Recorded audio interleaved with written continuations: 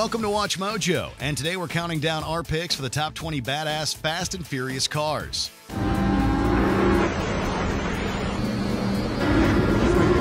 Hey, my man, you can put that down right there. This is a gift, a real gift. I know what you're doing. Hey, get in the car. We're all going. No, you. Just the go. I said, we're all going. For this list, we're looking at the vehicles in this action franchise that left lasting impressions, mostly because of how rad they are. Since some of these cars figure into pivotal scenes, beware of spoilers. Which of these cars do you think look the coolest? Drool over them in the comments. Now, start your engines. Number 20, 1970 Plymouth Roadrunner, the Fast and Furious franchise. This car had a slightly sorrowful connotation to it, at least for a time.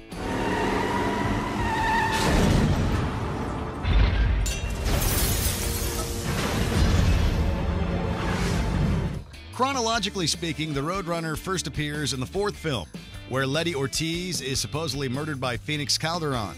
Thankfully, it's confirmed in Fast and Furious 6 that Letty managed to escape the vehicle before it exploded. And good thing too, because we wouldn't want to associate such a sleek muscle car with the death of one of our favorite characters. Before all this prequel drama went down, we remembered it fondly for being what Dominic Toretto rolled up in during his cameo at the end of Tokyo Drift. Our fondness was rewarded when we got to see the conclusion of that scene in Furious 7. Han said you was fast, but not that damn fast. He said American muscle can't drift. Number 19, 2011 Lexus LFA, Fast 5. The Lexus LFA is only featured in a single scene, but it nevertheless makes it a memorable one. After the gang successfully gets away with the loot in Rio de Janeiro, we see snippets of each character's happily ever after, at least until the next adventure, that is. Han and Giselle are seen in the Lexus speeding through Germany with the latter in the former's lap as they kiss. Hazardous driving practices aside, the scene is totally an endearing one, as we totally ship them throughout the entirety of the movie. So where to now? I don't know. Never been to Madrid. I thought you wanted to go to Tokyo. We'll get there. Eventually. The two discuss possible destinations, with Han opting to delay Tokyo in favor of Madrid. Wherever they went next, they certainly got there in style. Number 18, 2003 Acura NSX. Fast and Furious and Fast 5. Anybody up for a game of chicken?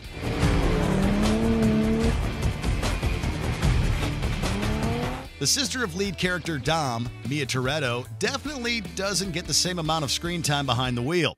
But here, she definitely proves her clout. After Dom is captured and sentenced to 25 years to life, the crew doesn't even wait for them to lock him up to break him out. The fourth film ends with the crew getting in position to intercept Dom's prison bus, and Fast 5 picks up immediately after. Mia guns the NSX straight at the bus, forcing it to swerve and giving Brian the angle he needs to upend it.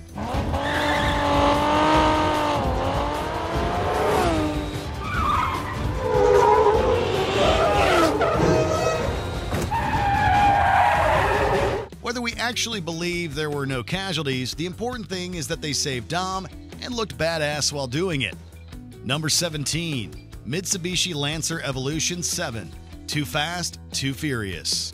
Too Fast, Too Furious definitely had the most colorful cars in the series, and the Lancer Evolution 7 is no exception. Serving as Brian O'Connor's loaner vehicle while working undercover for the U.S. Customs Service, the Lancer gets plenty of opportunities to look pretty. First, Brian demonstrates some cocky yet precise driving during the audition race to get in good with the drug lord Carter Verone.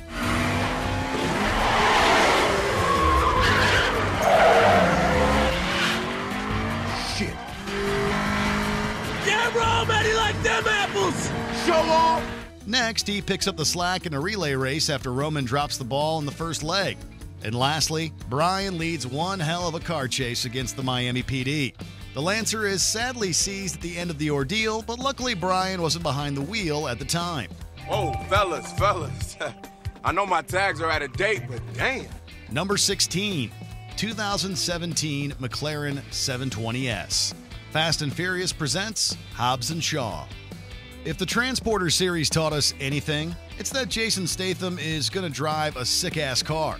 That trend continues in this Fast and Furious spin off where Statham's Deckard Shaw uses it to abscond from London with his sister and begrudging partner in tow. The interior may be a little cramped, but that's just going to happen when you're carpooling with The Rock. Marvin Thompson Cows.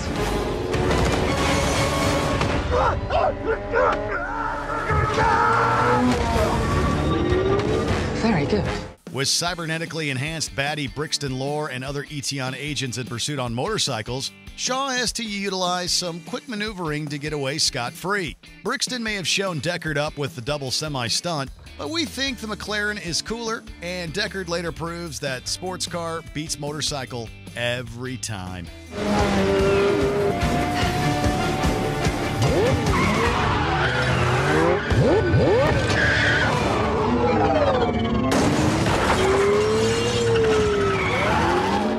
Number 15, Lamborghini Murcielago LP640, The Fate of the Furious.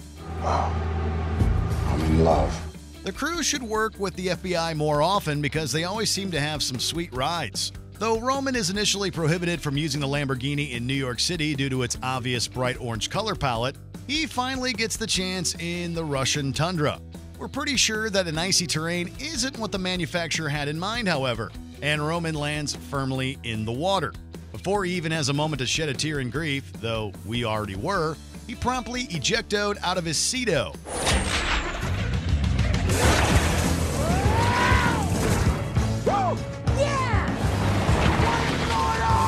Thankfully, the Lambo lives on in the form of the driver's side door, which Roman uses as a sled, a shield, and finally as a weapon before he's through. All right? I've had enough of this shit. Number 14, 1970 Ford Escort Mark I RS 1600, Fast and Furious 6. Most cars in the Fast and Furious movies are more or less slender, but Brian makes it all work the same in this absolutely cherry vintage rally car.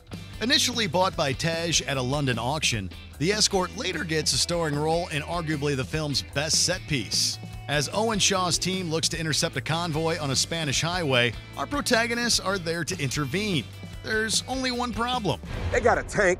I'm sorry. Did somebody just say a tank? With Roman's fastback in danger of being eaten by the tank, Brian makes sure Roman has space to land upon abandoning ship. The wrecked fastback now tethered to the tank, Brian uses the escort's bulky body to upend it and make for a good anchor, leading to one show stopping moment.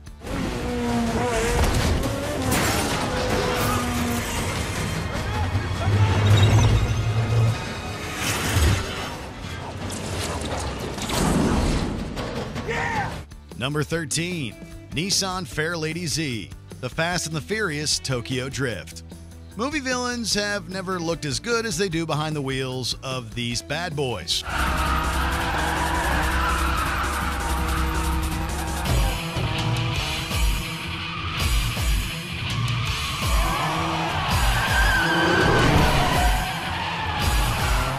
The signature car of Drift King Takashi, the Fair Lady, makes an early impression upon smoking lead character Sean Boswell in a parking garage drift race. Still, Sean continues to be a thorn in Takashi's side as he and his sidekick Morimoto, also in a Fair Lady, go after the protagonist through the city streets.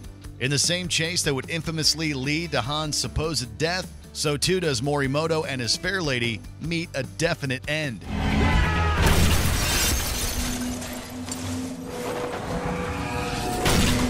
Because no climax would be complete without another drift race, Sean and Takashi leave everything on the table. But this time, Sean proves there's a new Drift King.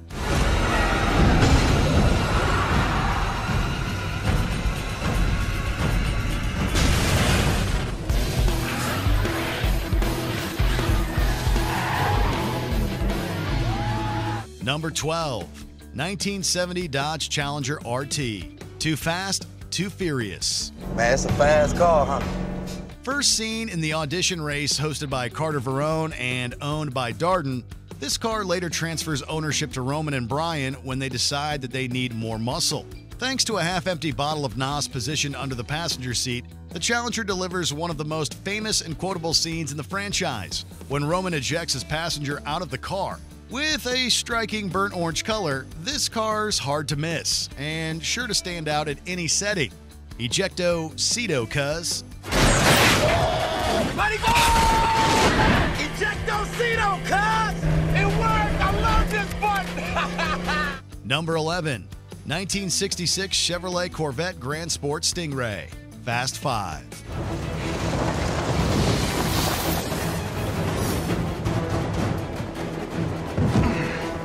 This car might only get a little screen time, but it certainly makes a big impression.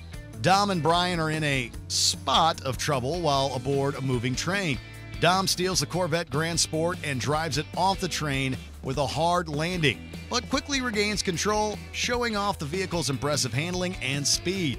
Dom catches up to Brian, who jumps into the Corvette just before the car he's holding onto gets utterly demolished. Sadly, with nowhere else to go, it proves a short ride as the car flies off the cliff.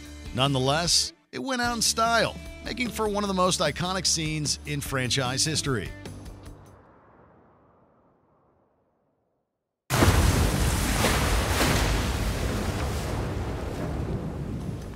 Number 10, 1995 Mitsubishi Eclipse GT, The Fast and the Furious. The Fast and Furious franchise was initially built on the back of street racing, and this is where it all began. Looking to infiltrate Dom's crew, the undercover Brian O'Connor enters the uber sexy Eclipse in a race against Dom and two other drivers.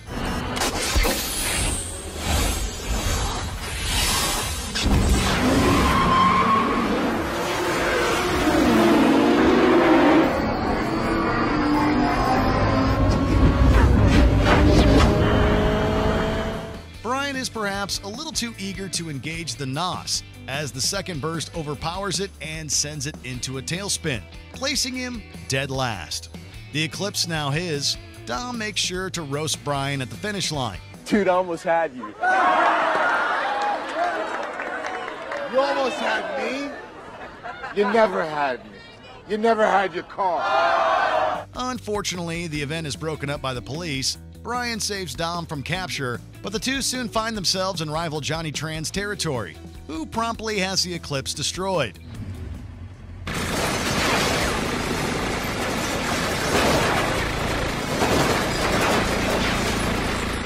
Looks like Brian owes Dom a new 10 second car.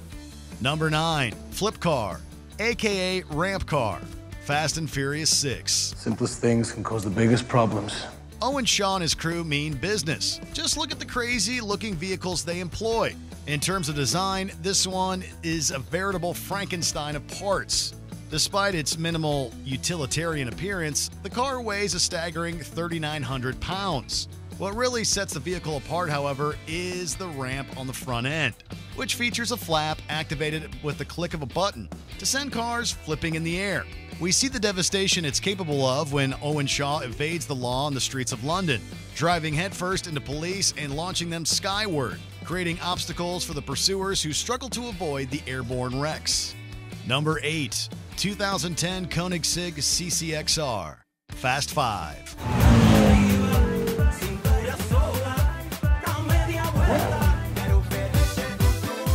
When you're a millionaire, have a love for cars, and can afford pretty much anything you want, it makes sense to snag a car that's incredibly rare. Roman does just that, flaunting a sweet ride and the exclusive status it brings him to his pal Tej. It's with a lot of self satisfaction that he states that he has the only one in the Western Hemisphere. There's only four of those cars in the whole world. Yeah, I got the only one in the Western Hemisphere. Tej breaks it to him that there are actually two, and in fact, he's the guy with the other one. But hey, when you're talking about a car this cool, the more the merrier, right? We'd be excited just to see one. We can always shine together, baby. Number 7, 1970 Plymouth Barracuda, Furious 7. If there's one thing that'll jog a Fast and Furious character's memory, it's winning a race. Dom realizes this in Furious 7 as he brings an amnesiac Letty to a familiar destination Race Wars. Confident Letty will win against a particular Audi R8, Dom lets her use his Barracuda against it, and sure enough, she does.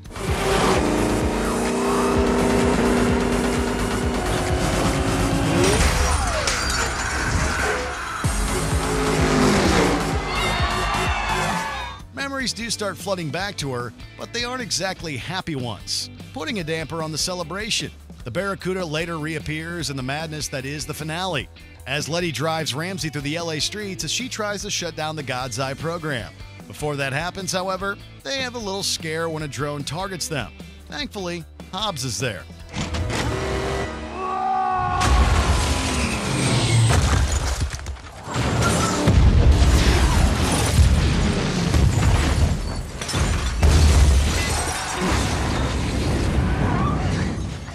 Number 6. W Motors Lykan HyperSport, Furious 7. You realize what this is? Lykan HyperSport? The fate of this gorgeous W Motors car is devastating. It's owned by a prince in Abu Dhabi and resides in a skyscraper.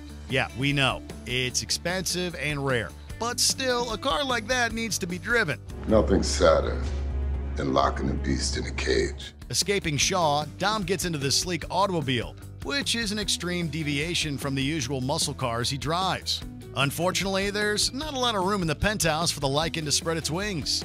But it astonishes in another way by getting driven out of one building and into another, twice, before slamming into the ground.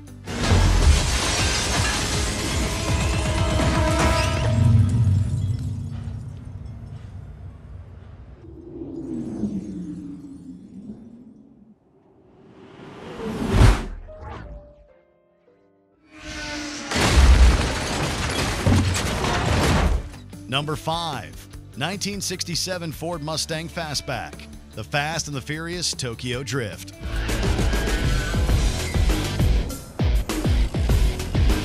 This Ford Mustang appears in Tokyo Drift and is originally owned by Sean's father. After Han's death, Sean brings that old Mustang to life, installing a Skyline GTR RB26 DETT engine, salvaged from the Nissan Silvia he had driven and wrecked in a previous race against Takashi.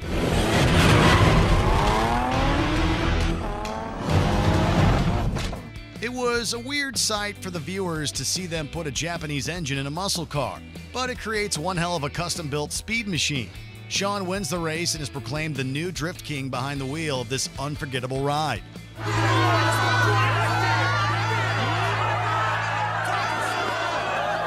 Number 4.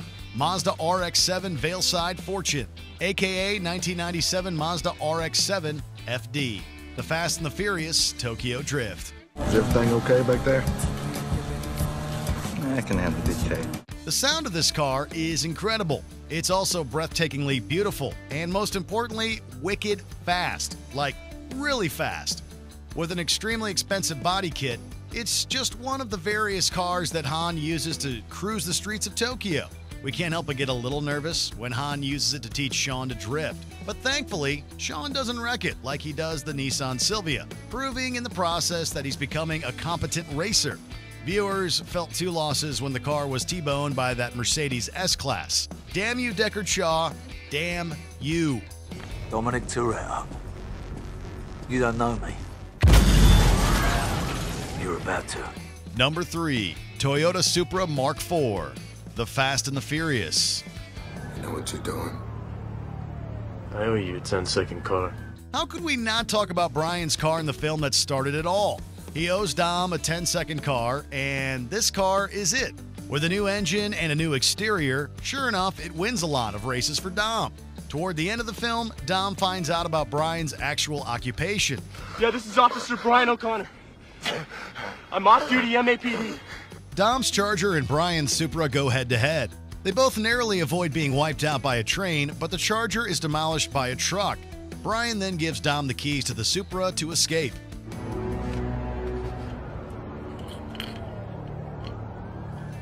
Number 2. 1999 Nissan Skyline GTR R34. Too fast, too furious.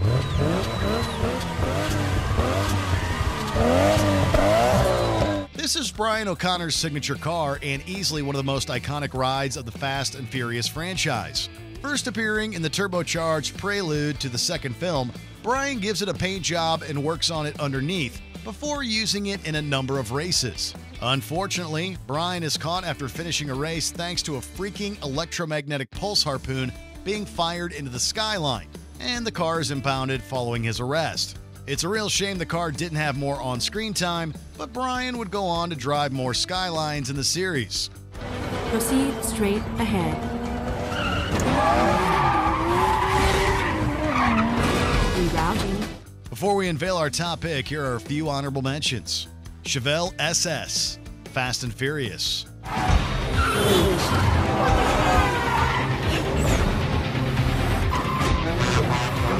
Ford GT40, Fast 5.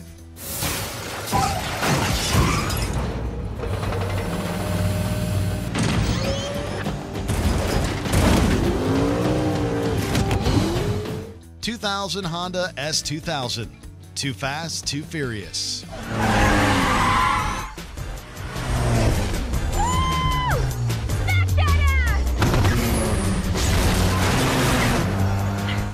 Mitsubishi Lancer Evolution 9, The Fast and the Furious Tokyo Drift.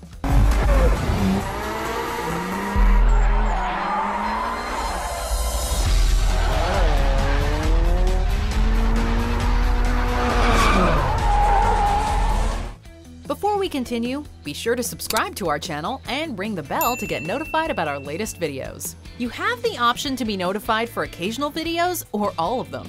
If you're on your phone, make sure you go into your settings and switch on notifications. Number 1, 1970 Dodge Charger RT, the Fast and the Furious franchise.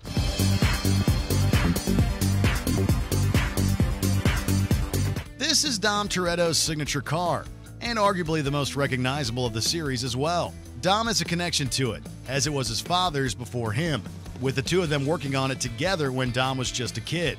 Perhaps that's why we keep coming back to it, no matter how many times the Charger gets destroyed. Over the course of the franchise, the car has undergone various iterations and changes. Who could forget the off road version in Furious 7? When the crew needs different cars in the sixth movie, Dom, of course, picks another Charger, the Daytona. But hey, you can't beat that classic look. That car is really like a cast member of the film, so it has to keep coming back. Do you agree with our picks? Check out this other recent clip from WatchMojo, and be sure to subscribe and ring the bell to be notified about our latest videos.